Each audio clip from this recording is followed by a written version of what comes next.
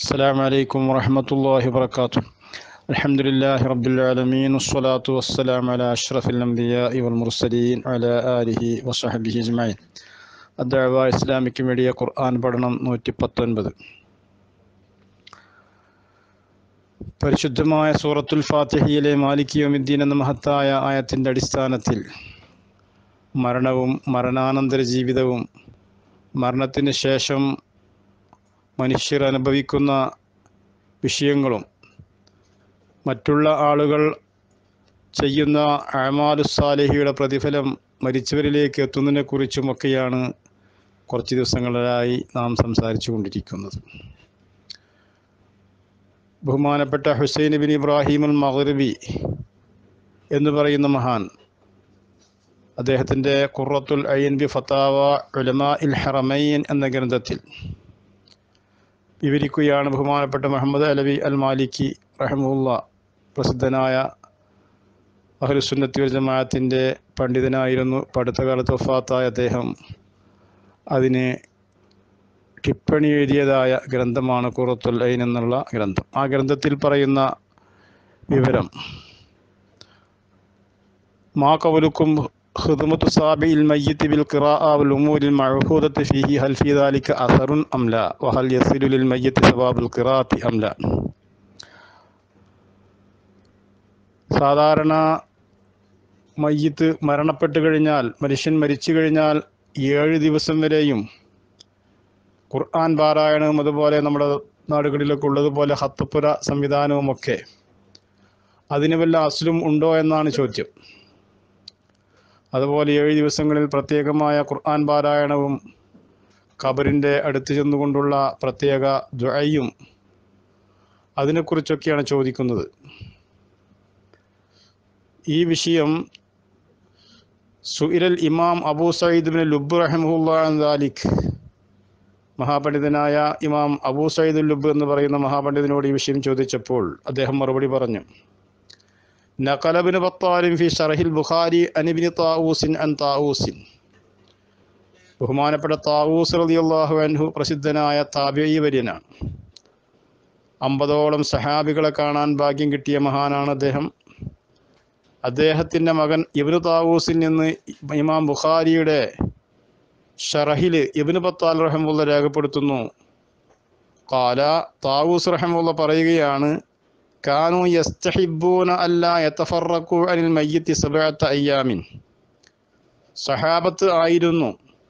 കാനു എന്നോട് ഉദ്ദേശിക്കുന്നത് ഇമാം ഷാഫി അലി അള്ളാഹു എന്ന് പറയുന്നു കാനു എന്നുകൊണ്ടുള്ള ഉദ്ദേശം സഹാബത്ത് ആയിരുന്നു. യസ്തഹിബൂന അല്ല അനിൽ മയ്യത്തി സബഅത്ത അയ്യാമിൻ.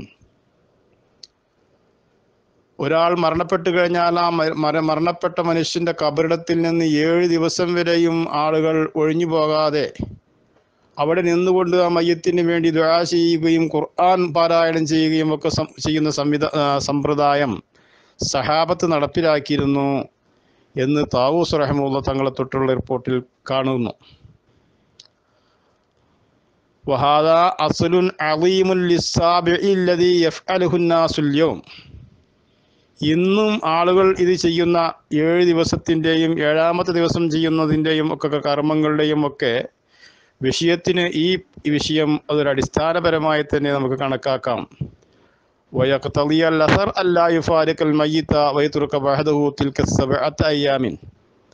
മയ്യത്ത് മയ്യത്തിന് ഏഴ് ദിവസം വരെയും അവിടെ പരിസരത്ത് കബറിടങ്ങൾ ചെന്നുകൊണ്ട് ദുആ ചെയ്യുകയും അതുപോലെ ഖുർആൻ പാരായണം ഒക്കെ നടത്തുകയും ഒക്കെ ചെയ്യുന്ന ഈ വിഷയം സഹാബത്തിൽ നിന്ന് ഉദ്ധരിക്കുന്നു.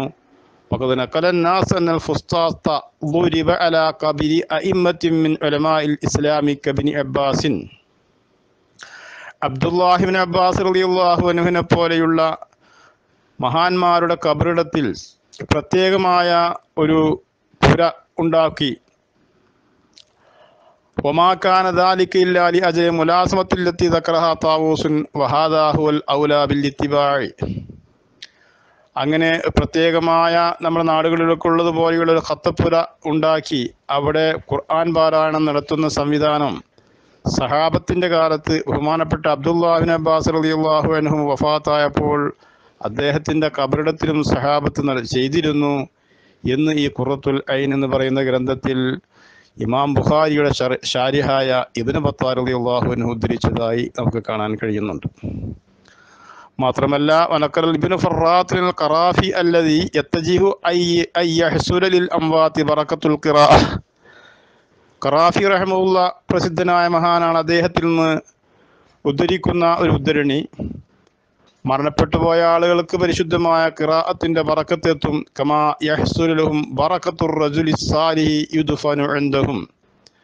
ഖുർആൻ പാരായണം ചെയ്തതിന്റെ മഹത്വം മാത്രമല്ല ഒരു മഹാനായ സാലിഹായ മനുഷ്യന്റെ അടുത്താണ് ഒരാൾ മരണപ്പെട്ട് മറമാടിയിട്ടുണ്ടെങ്കിൽ ആ സാലിഹായ മനുഷ്യന്റെ ബറക്കത്ത് പോലും ഈ ഖബറിൽ കിടക്കുന്ന വ്യക്തിക്ക് എത്തുമെന്നാണ് ഖറാഫി റഹമുള്ള തങ്ങളെ തൊട്ട് ഇവന് ഫറാത്ത് റളിയല്ലാഹു അൻഹു റിപ്പോർട്ട് ചെയ്യുന്നത്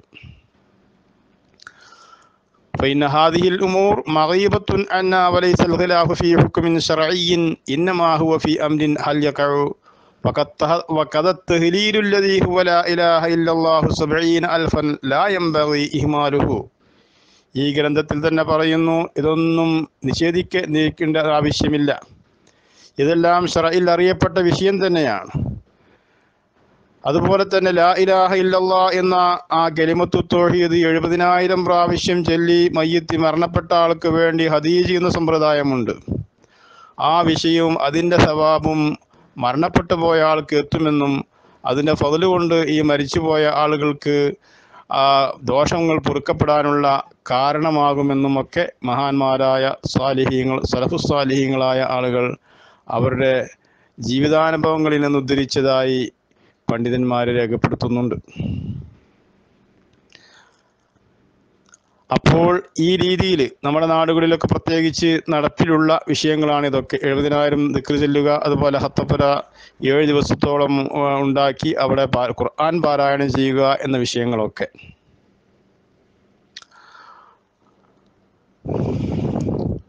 ബഹുമാനപ്പെട്ട ലത്തായിഫിൽ ഇബിൻ റജബുൽ ഹംബലി റഹ്മൂദ് തങ്ങളുടെ ലത്തായിഫ് എന്ന ഗ്രന്ഥത്തിൽ പറയുന്നുണ്ട് അന്ന ഇസുദ്ദീൻ അബ്ദുസ്സലാം ഷാഫിഈ റുഇയ ഫിൽ മനാമി ബഅദ മൗതിഹി ഇസുദ്ദീൻ ഇബ്നു അബ്ദുസ്സലാം റഹ്മുള്ള ഷാഫി പണ്ഡിതനാണ്. അദ്ദേഹം വഫാത്തായതിനു ശേഷം അദ്ദേഹത്തെ സ്വപ്നത്തിൽ കണ്ടവരാണ്. ഒരാൾ ലഹു അദ്ദേഹത്തോട് ചോദിക്കപ്പെട്ടു മാ തഖൂലു ഫീമാ കുന്ത തുങ്കിറു അം മിൻ നുസൂലി യുഹ്ദാ മിൻ ഖിറാഅത്തിൽ ഖുർആനിൽ ലിൽ മൗതാ നിങ്ങളുടെ ഹയാത്ത് കാലത്ത് പരിശുദ്ധ ഖുർആൻ ഷരീഫ് പാരായണം ചെയ്താൽ അയാൾക്ക് കിട്ടൂല എന്ന ഒരു ആശയം നിങ്ങൾക്കുണ്ടായിരുന്നുവല്ലോ. എന്നാൽ മരിച്ചതിന് ശേഷം ആളുകളൊക്കെ കിറാത്ത് ഓതി നിങ്ങൾക്ക് അതിന്റെ വല്ല കൂലിയും കിട്ടിയോ? അതിന്റെ പ്രതിഫലമല്ലവും നിങ്ങളിലേക്ക് എത്തിച്ചേർന്നോ എന്ന ചോദ്യത്തിന്.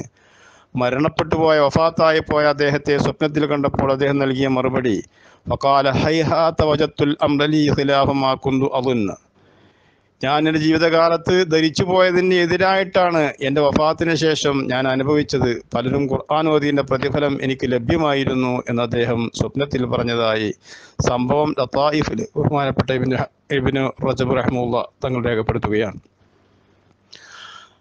അപ്പോൾ ചുരുക്കത്തിൽ ഖുർആൻ ഓതിയതിന്റെയും ദിക്കറുകൾ ചൊല്ലിയതിന്റെയും ഒക്കെ പ്രതിഫലം മരണപ്പെട്ടു പോയ ആളുകൾക്ക് ലഭിക്കുമെന്നും മരിച്ചുപോയ ആളുകളുടെ